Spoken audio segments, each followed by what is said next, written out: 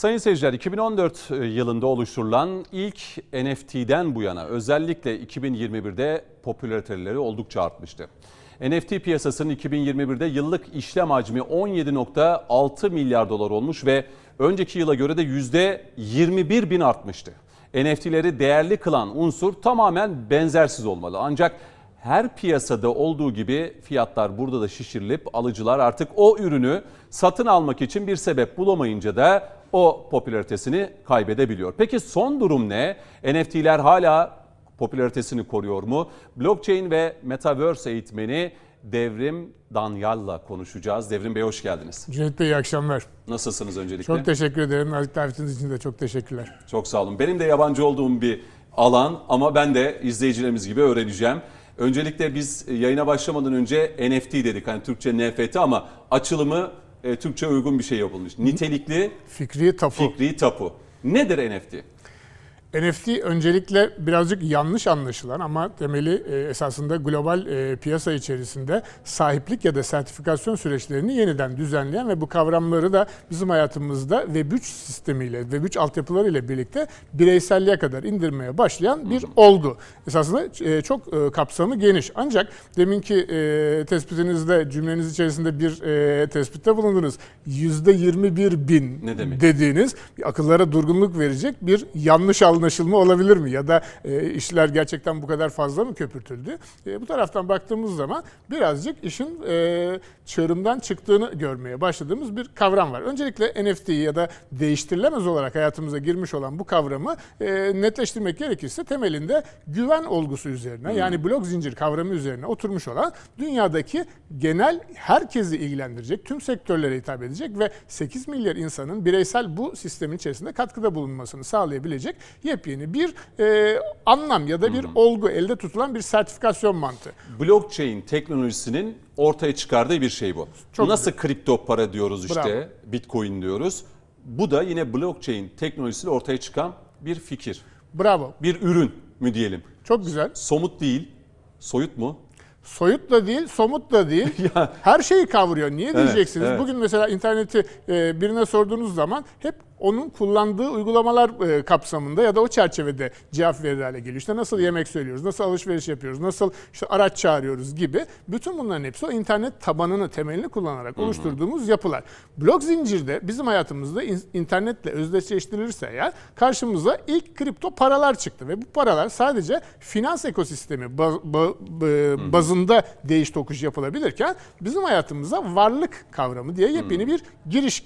E, Yeni bir giriş e, oldu. NFT hangi ekosistemi? Tamamen varlığı destekledi. Varlık. Niye diyeceksiniz? Çünkü finansal ekosistem içerisinde bir değiş tokuş yapısı bulunmuştu ve bu finans bizim hayatımızdaki herkesin en önemli, en e, önem verdiği noktalardan biriyken e, diğer sektörlerde de bu değiş tokuş ekosistemini bir şekilde canlandırmak ve bunu e, yerden, yurttan, zamandan, dilden, dinden, mezhepten, ırktan, gelenekten, görenekten para birimlerinden farklı olarak insanların değiş tokuş yapabilmesini sağlayacağımız bir ortama alternatif olarak geçilebilir mi kapsamında çıktı bu. Çünkü bütün bu e, sürecin içerisinde genelde o coğrafi sınırlar içerisinde devletlerin, hükümetler tarafından konmuş olan e, o sahiplik ya da sertifikasyon süreçlerini herkes kendi belirliyordu. Buna geçen devletler var mı şu anda? Hani mesela Bunun bir blockchain- merkezi yapısı olmadığı için bir devlet e, kapsamında Yok. da yok. Yani bir sahibi yok. Şimdi sahibi hani blockchain sizsiniz. teknolojisiyle kripto para ya da bitcoin ile alakalı devletler artık karar almaya başladı ama NFT'de şu anda böyle bir şey yok. Bir merkez.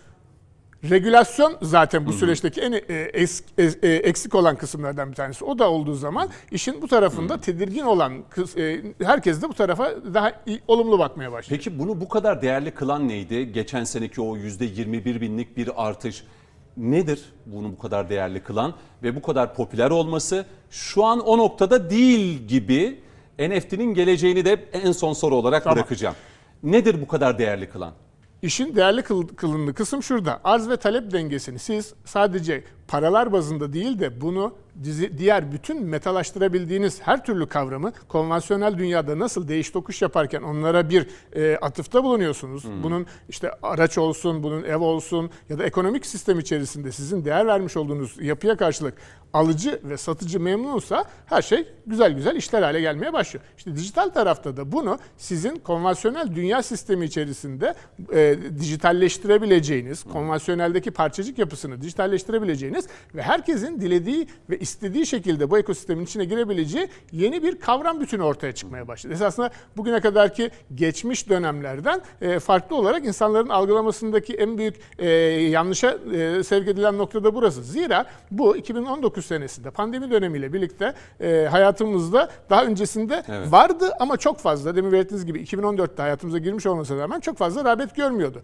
Buradaki esas önemli kısım şurada. Siz pandemi dönemiyle birlikte herkes eve kapandığında herkes kendi işlerini bir şekilde evden devam ettirir hale geldi. Yani bir marangozsanız ahşap işlerinizi yaptınız. İşte e, ev hanımıysanız elinizde e, işte bir e, nakış dikiş ya da benzeri süreçlerde ürettiğiniz bütün ürünleri daha önceden olduğu gibi internette satabilir halde haldeydiniz ve buradan bütçenize katkıda bulunabiliyordunuz. Ancak bugüne kadar belki de yıldızı hiç barışmamış olan bir kesim vardı. O da sanat kesimi ya da etkinlik yapanlar ya da burada ürünlerini kendi adlarına registre edemeyip yani kendi isimleriyle kaydedemeyip bunu insanlara sunamayanlardır. Ve e, herkesin kafasında canlansın diye şöyle bir örnek verelim. Biz bugün bir e, ressamsak yapmış olduğumuz tuvalin üzerindeki Tam da benim dikkat aslında soracağım oydu. Hani NFT olarak bir tablonun fiyatını görünce Bu şuraya evrilmeye başladı. Biz onu sadece kendi bulunduğumuz bölge içerisindeki e, satış yapabileceğimiz insanlara sunarken şu anda dijital sistemle birlikte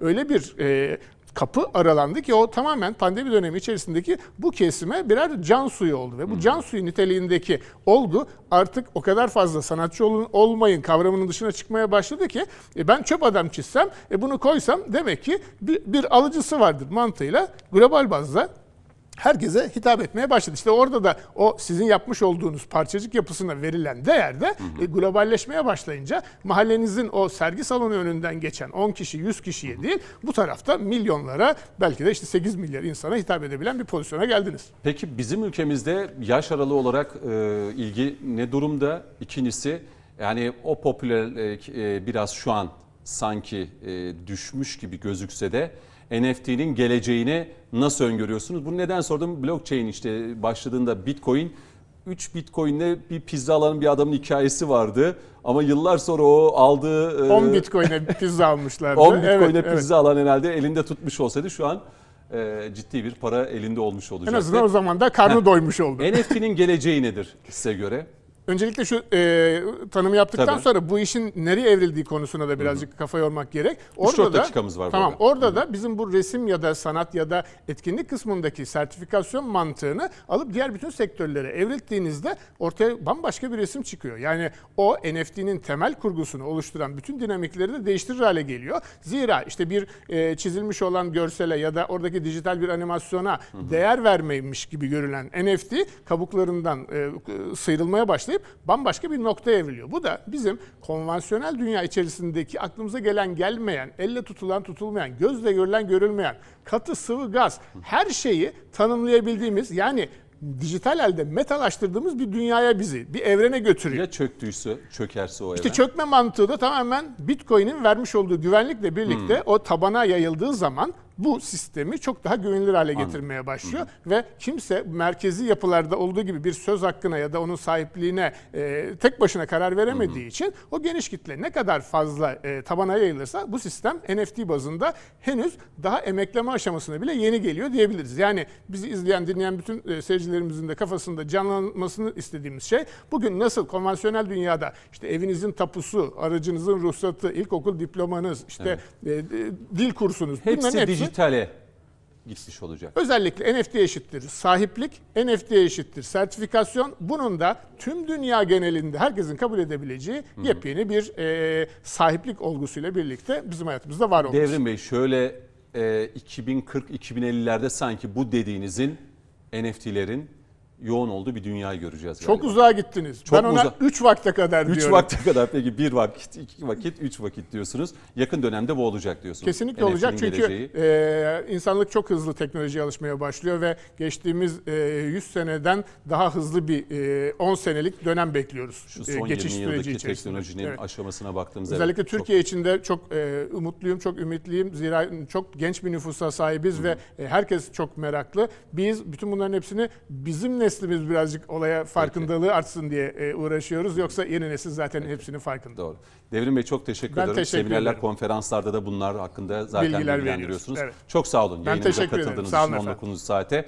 Sizleri uğurlarken biz de sporun gündemini almak üzere Mustafa Göksel'e sözü bırakacağız. Bakalım sporda, futbolda neler yaşanıyor?